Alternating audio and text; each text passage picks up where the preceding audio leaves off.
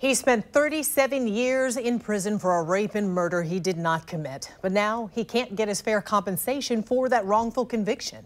Reporter Mike Vasilinda shows us the changes in the works to fix that.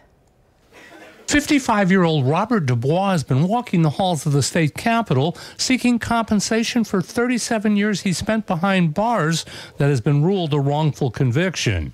DuBoise maintained his innocence the entire time.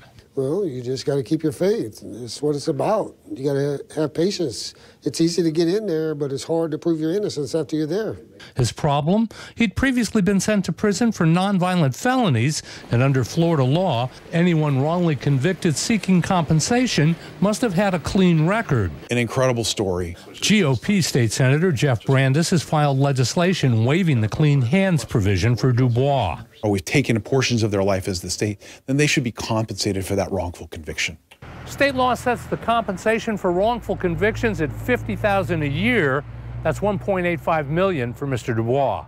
And this week, Robert met with lawmakers, including Senate Democratic leader Lauren Book. He was describing how he helps feed the homeless. So what I did is I started making bag lunches. When she asked, How do you uh, stay so positive? It's that too.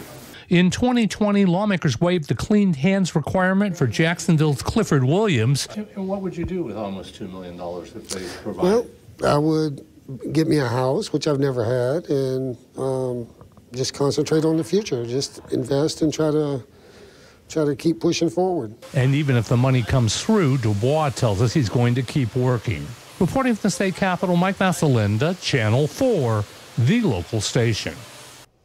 Since his release last fall, DuBoise has been working as a handyman, doing small construction and maintenance projects. The legislation also apologizes for the wrong and provides DuBoise with 120 hours of trade school or college for free at a state institution.